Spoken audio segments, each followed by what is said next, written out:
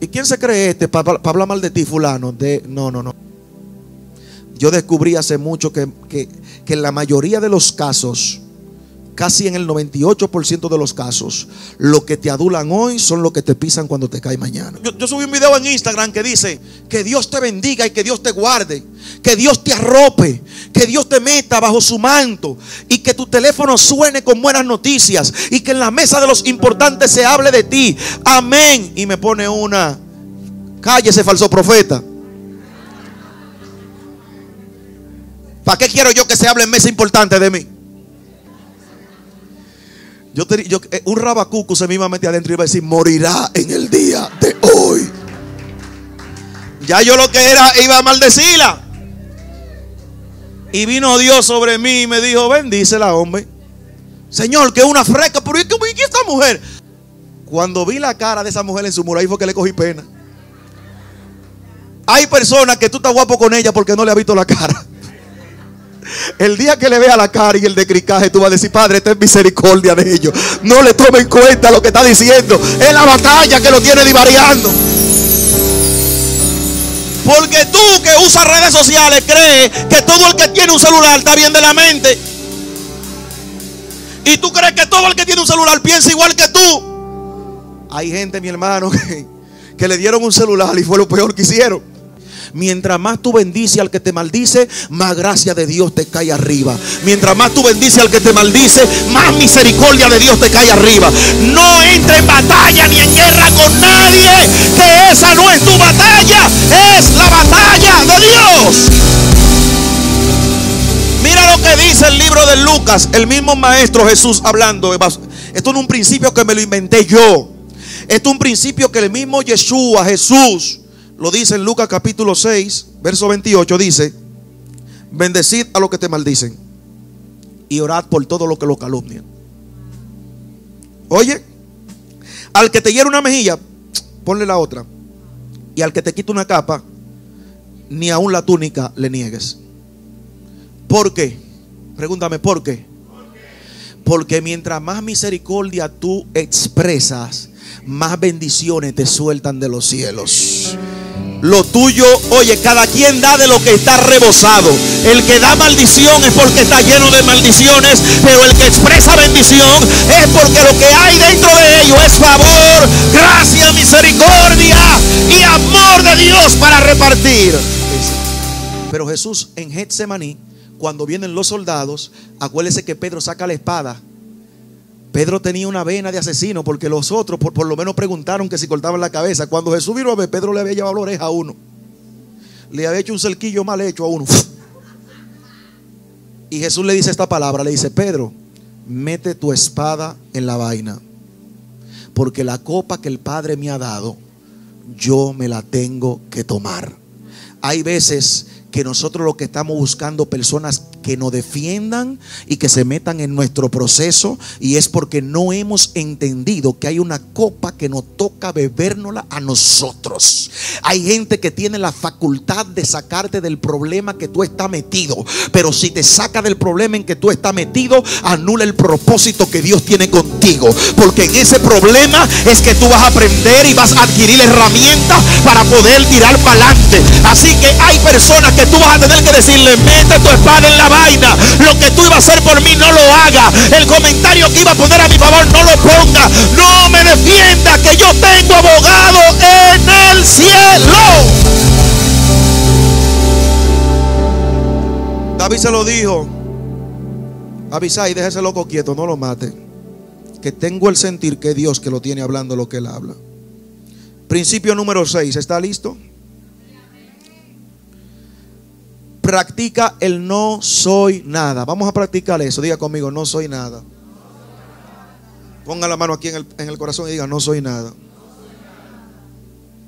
Y ahora practique esto, nadie me debe nada.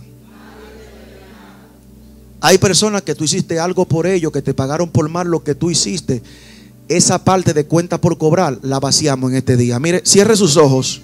Cierre sus ojos. Todo el que le quedó mal, todo el que lo traicionó, que te rompió el corazón, que te mordió la mano con la que lo alimentaste, hoy tiene que ser perdonado de esa vuelta. No soy nada, nadie me debe nada. estoy limpio. Oye, tú vas a sentir una paz. Tómate un minuto, vas a sentir paz. Hay personas que traicionaron tu confianza. Hay personas que le diste amor y ellos te mordieron. Hoy descarga esa parte. No soy nada. Pero estoy rodeado del que lo es todo. La misericordia de Dios es lo único que tengo. Y la gracia divina es lo único que me mantiene de pie. Drena todo ego en este momento. Drena todo ego. Tómate un minuto. Drena todo ego. Todo ego que te dice, que ¿cómo a mí? ¿Y por qué a mí? ¿Y cómo es que me hacen eso a mí? No, no soy nada. Me puede pasar todo lo que está escrito de parte de Dios que me pase. Jesús fue más grande que yo y le tocó morir en una cruz. No soy nada. La misericordia de Dios es lo único que tengo y es lo único que me glorío. Gracia, favor y misericordia. Repita conmigo, gracia, favor y misericordia. Amén. Es muy importante que practique eso. Y le voy a decir algo y espero que no se salga de la unción con esto que le voy a decir, porque el único que no va a sentir a Dios es Julio. Lo dije el domingo y lo tengo que decir. Julio me ganaba toda la mano de domino en una aplicación que tenemos, negro. ¿Y por qué Julio tan cheposo? Era que yo tenía un nombre de que el viejo Jack Gol, el mejor. Y Julio llegaba, pa, pa, pa, pa, pa. Y yo dije, me voy a cambiar el nombre. No soy nada Jack. Usted le puede decir cómo está el torneo. Estoy yo allá arriba ganándole a todo el mundo, mi santo hermano. Y cuando gano no digo nada, digo, no soy nada. Julio me vio la estrategia. Vea que el hombre no está perdiendo. Y se ha cambiado el nombre de que el humilde, el humilde se llama. Julio se llama de que el humilde. Y le resultó por un tiempo, pero se le gastó porque la victoria lo fueron emaneciendo al hombre. Y de repente yo veo que Julio está remontando otra vez. Y es que el hombre se cambió el usuario de que duquesa. ¿Tú no sabías por qué fue que se puso duquesa? Es por eso, de que, él está más para abajo de la humildad. Denle un aplauso a Julio, hombre. Pero el ego, ya hablando fuera de, de, eso, de ese juego, el ego nos impide subir a los niveles que tenemos que subir. No pone techo. Y hoy yo quiero que los techos que no te dejaban subir se caigan. Mientras más alto tú subas, menos eres. Mientras más lejos Dios te lleve, no soy.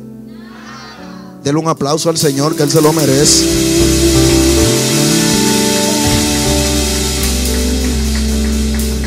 Número 7, y este va rapidito.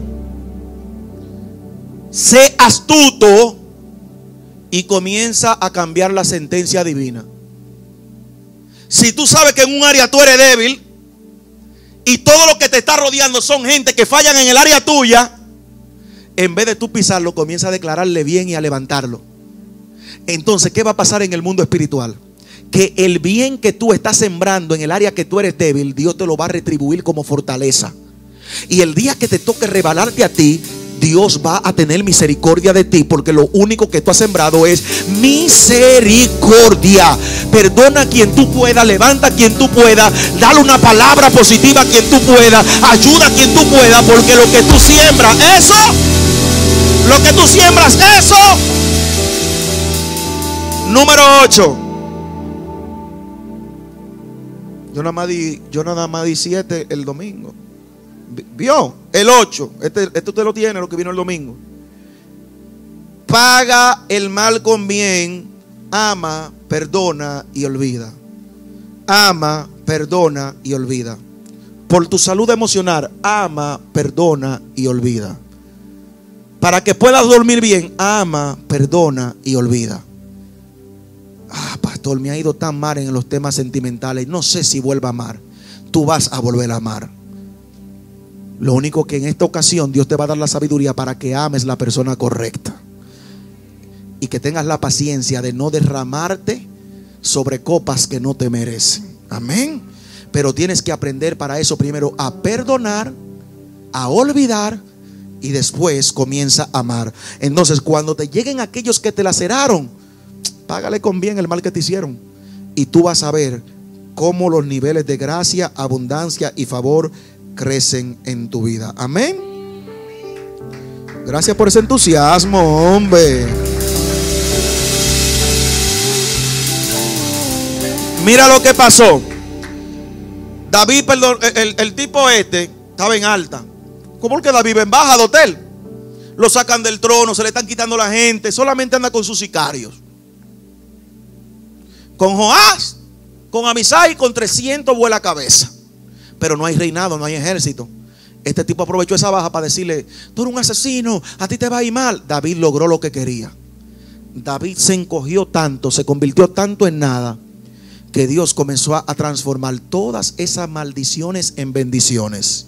Y de buena primera, muchacho, Absalón muere. El hijo de David que lo estaba persiguiendo muere. Y todo el corazón del pueblo comienza a ponerse en pos de David otra vez. Todo el mundo comienza a entender que Dios estaba con David, que Dios estaba con David. Entonces hay una cita bíblica, Welfin, ¿tú te acuerdas? Porque la pusimos la otra vez.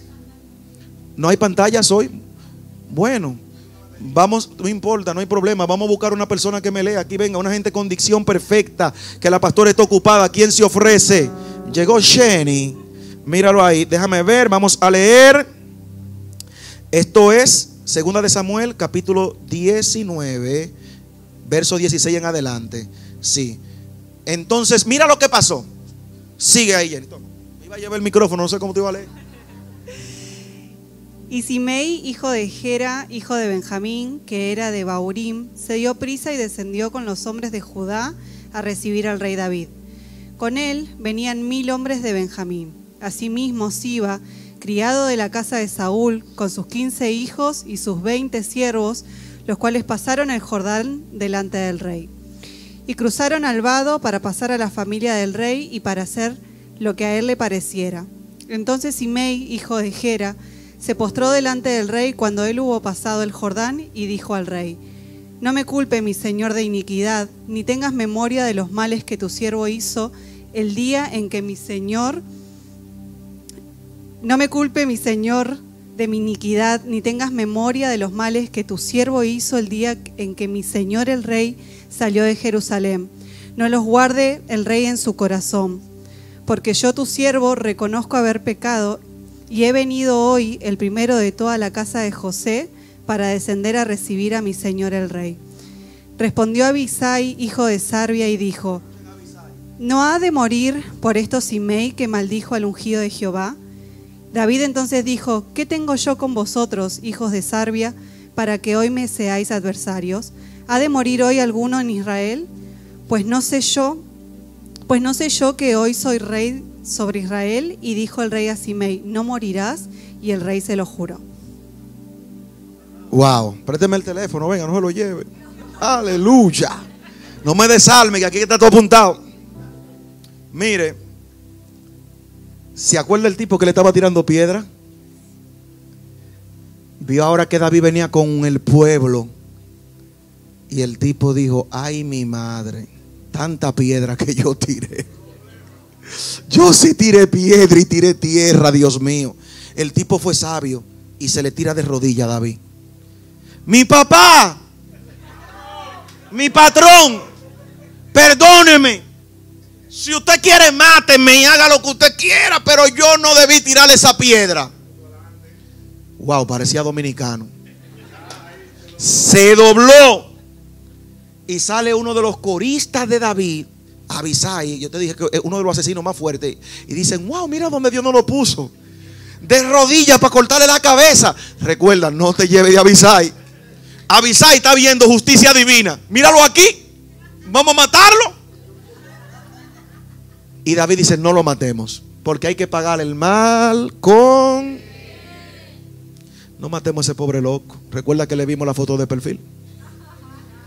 No vamos a poner, al social, no vamos a poner social espada con este muchacho.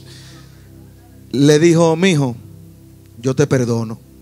Se desató que David, no solamente cuando usted lee este capítulo que acabamos de leer, David comenzó a perdonar a todo el que se le viró. Viene una temporada que para que Dios te desate lo que te va a desatar, vas a tener que perdonar a todo el que te dio la espalda y a todo el que se te viró. David comenzó a dar chance como que estaba en oferta. Había un asunto de chance. Hay que, que hay que perdonarte a ti, te perdono. Y a ti te perdono. Yo te, te perdono y a ti te perdono. ¿Por qué? Porque cuando David limpió esa cuenta por cobrar, lo que bajó del cielo fue que su reino fue más poderoso, más rico, más estable, más fructífero. ¿Por qué? Porque cuando sembramos misericordia, lo que fluye de allá arriba es misericordia.